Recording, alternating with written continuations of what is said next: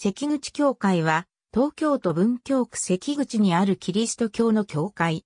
カトリック東京大司教区の司教座聖堂であり、教会同盟が無限在の聖母であることから、東京カテドラル聖マリア大聖堂として知られている。本校では、教会としてのカトリック、関口教会だけでなく、建築物としての東京カテドラル、聖マリア大聖堂についても記述する。1877年に日本北医師とザ大陸の初代司教として来日したピエール・マリー・オズーフは、教会発展のため東京の中心地に土地を求めた。しかし、当時、外国人の土地取得は、自書室入り書き入り規則により禁止されていた。そのため1886年5月22日、土地所有者の一柳末徳から、オズーフに代わって、浅草教会信者名義で、小石川関口大町の土地を購入した。その後、浅草教会構内にあった媒介学校の仏文化教頭であった司祭のジャンピエール・レイは、学校に収容されていた孤児たちが青年へと成長し、職業訓練等が必要になり、もっと大きな施設が必要となったため、1888年、すでに購入済みだった関口大町の土地に高木神三郎ら浅草教会信者の協力を得て、聖母仏語学校を設立した。この学校の敷地内に1899年9月10日、生徒たちの協力を得て、付属制度である無限在の聖母制度が検討される。翌1900年1月7日には、小教区制度として認められ、同年2月26日には、東京府へ聖母協会設立願いを提出、同年10月8日に認可され独立した。1912年に東京大司教に就任した例は、大司教座のある築地教会には住まわず、関口教会内で執務し、1920年には大司教座を築地教会から関口教会へと移転した。1899年に建てられた聖堂は、1923年の関東大震災においても倒壊を免れたが、1945年5月25日の東京大空襲で消失、焼け残った建物を聖堂として使用していたが、1947年にコンセットハウスが建てられ、聖堂となった。1951年には自動会館の2階を改造しかり聖堂としたが、司教座聖堂の役割を果たすことが困難だったため、麹町教会の新制度を利用していた。また1953年から1964年の間、神田教会を仮司教座制度とした。1964年12月、現在の制度が完成し司教座制度となった。この制度は、1966年に第7回 BCS 賞を受賞、2003年には同コミューもジャパン選定日本におけるモダンムーブメントの建築に選ばれている。1967年10月23日には吉田茂元内閣総理大臣の葬儀が行われた。また東京カテドラル聖マリア大聖堂の設計者、丹下健三の葬儀もここで行われた。また、近年のエキュメニズム運動の主要な舞台の一つでもあり、2009年9月23日にはカトリック教会とは別のキリスト教派である日本聖公会の150周年記念礼拝が行われた。1899年に最初に建てられた木造で、ゴシック様式の聖堂は、1945年に戦災で消失、カトリック、関口教会は敗戦後の物資不足による経済的理由で長らく再建されないままであった。そこで、日本へのカトリック再布教100年事業の一環として、ドイツケルン大司教区の支援を受けながら、カトリック東京大司教区主催による東京カテドラル聖マリア大聖堂のコンペが、1962年5月締め切りで行われた。前川国夫、谷口義郎、丹下健三の3名に絞り込んだ指名コンペであり、設計期間は6ヶ月。現代的なものをというケルン側からの要望で、設計条件は特になく、宗教行事を取り行う上で必要不可欠なものを備えていさえすれば良いとされた。審査員は建築界から吉武康水、今井健二、杉山秀夫、教会側からは3名の司祭とケルンから派遣された、教会建築専門の建築家、ウィルヘルム・シュロンブガーだった。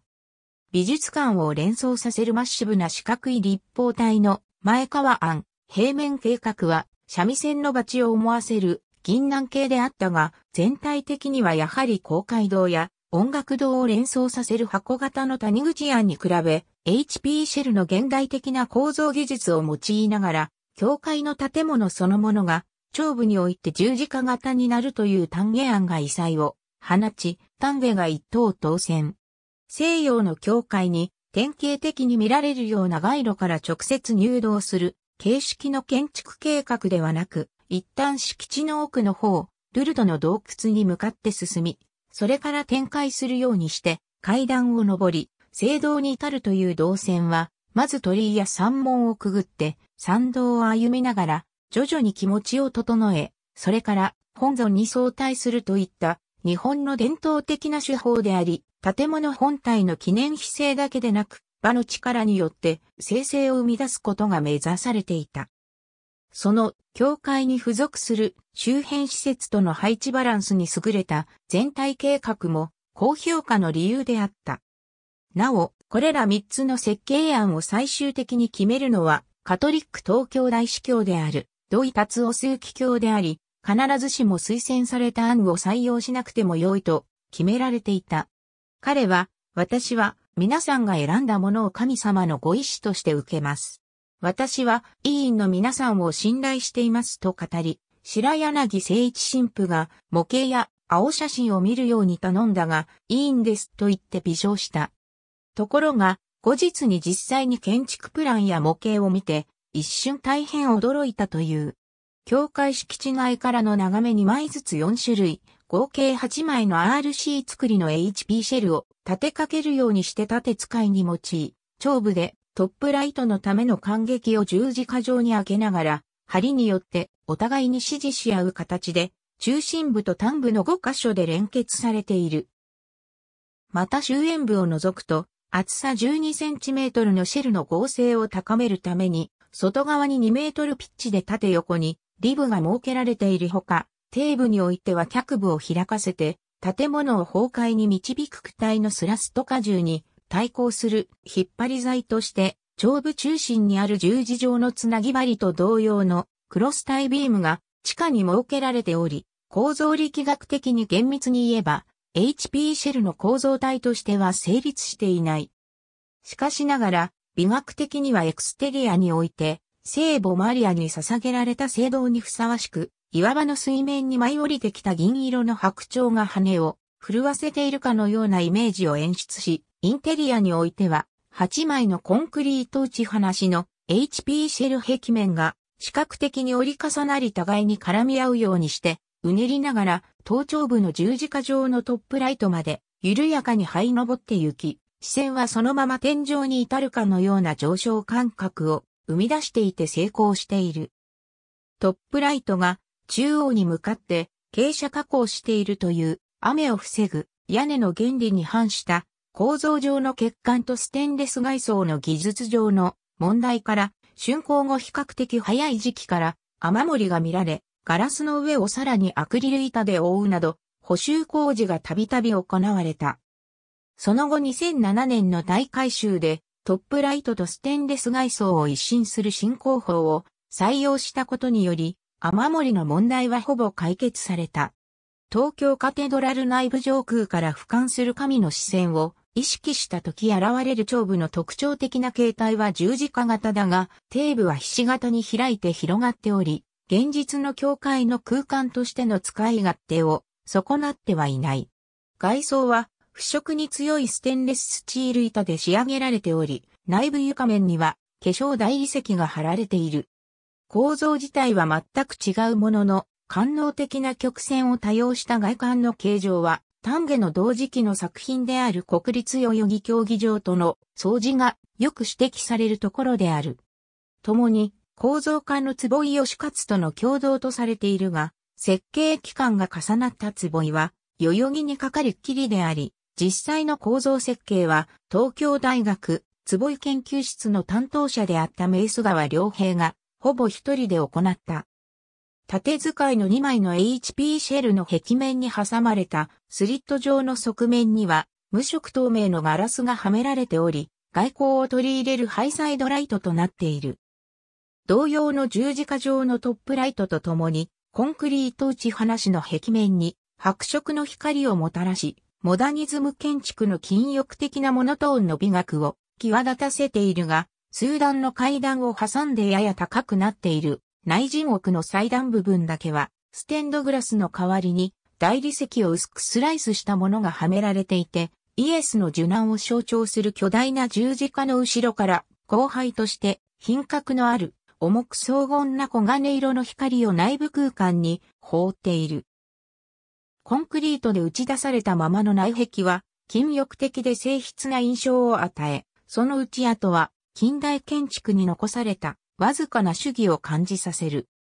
最長部で40メートル近くに達する内部空間は、伝統的なゴシック教会建築の上昇感覚を表彰するとともに、キリスト教の前身である旧約の古代ユダヤ教会の幕屋をも同時に忍ばせる造形になっている。残響は7秒に達し、典型的な中世ヨーロッパの大聖堂よりも長い。ヨーロッパの典型的な大聖堂のそれに似た音響特性を持つ大空間は日本では珍しいとされ、時折開催されるパイプオルガンやオラトリオグレゴリオ聖歌などの演奏会では、現代的なコンサートホールでは味わうことができない、教会特有の響きを味わうことができる。しかし、長い残響と変則的な壁面形状による反射の周波数特性から被災の説教は聞き取りにくく、音楽によっては音が混濁した印象を与える。現在のパイプオルガンは2代目で、2004年に完成し、同年5月に公開されたイタリア製の魔性にオルガンオーパス1165で、主に第2金曜日19時19時50分にオルガンメディテーションが開催されている。校内では、サンピエトロ大聖堂のピエタの成功なレプリカやフランシスコ・ザビエルの胸像などの収蔵品を見ることができる。地下に納骨堂及び小聖堂を持ち、聖堂脇には鉄筋コンクリート製の小塔が鋭いフォルムを見せて起立している。聖堂内の一角にはドイツケルンのイエズス会から寄贈された聖フランシスコ・ザビエルの胸像が展示されているが、正確に言うとこれは聖遺物容器である。さらに教会敷地奥には聖母マリアが、聖、ベルナデッタに無限在の親鳥を告げたとされる、フランスのルルドの泉の洞窟の岩場が再現されており、この岩場の中には大きな聖マリア像がある。